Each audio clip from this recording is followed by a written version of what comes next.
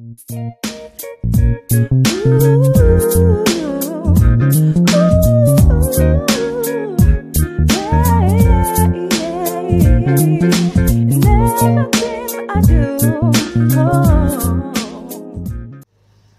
a faithful God is all we need. What a faithful God we serve is all we need.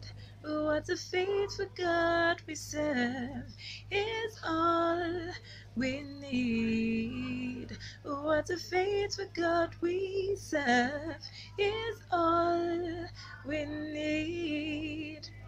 Hello, everyone. This is E Plus, the storyteller. It's such a beautiful day that the Lord has made, and we will rejoice and be glad in it.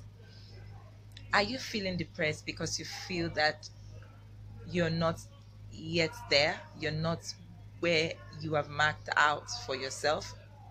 Are you feeling depressed because you feel that time is running out and you feel that all that you have mapped out is not falling in place?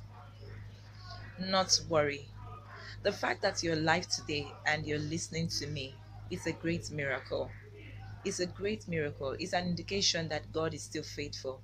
You know, God is faithful to His word, and He wants us to understand that. He wants us to remember that. Anytime that depression sets in, anytime that worry sets in, anytime that self, you know, low self esteem sets in, trust me, it's just the plan and device of the enemy to sway you off the promises of God. For the fact that you're still alive and you're still breathing shows that God's plan is still intact. You know, there are many people who are no more today and they really wish they can be in your shoes at least to just achieve some of those things that they missed out. But here you are, you you have time and God is in perfect control. So you know that He's faithful. So you see, anytime it looks like you want to begin to complain and grumble, just remember that God is faithful. He wants you to remember that. Never you forget because He will continue to be faithful. Just trust in Him. So you can join me to say, what a faithful God we serve is all we need. What a faithful God we serve is all we need. So keep trusting God and don't you ever give up because He has got your back. He remains faithful. Have a blessed day. Mwah. From E Plus the Storyteller.